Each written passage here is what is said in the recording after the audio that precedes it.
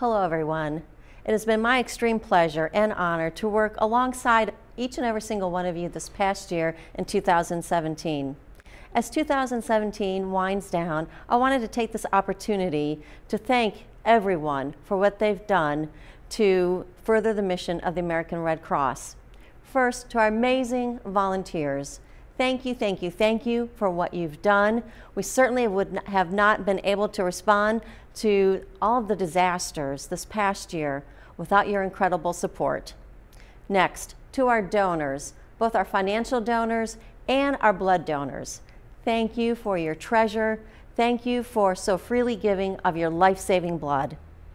Next to our boards, thank you to our regional board and our chapter boards throughout Ohio Buckeye region for your wisdom and for your guidance. It truly has been invaluable. And also to our staff, thank you for inspiring me each and every day.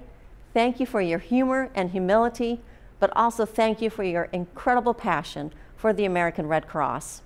To put a little bit of context around what we've been able to do, not only in Ohio Buckeye, but throughout the country, we've been able to provide over 650,000 shelter stays. We've been able to provide over 76,000 communications to our military family, families. We've been able to help provide over 2.7 million people giving life-saving blood.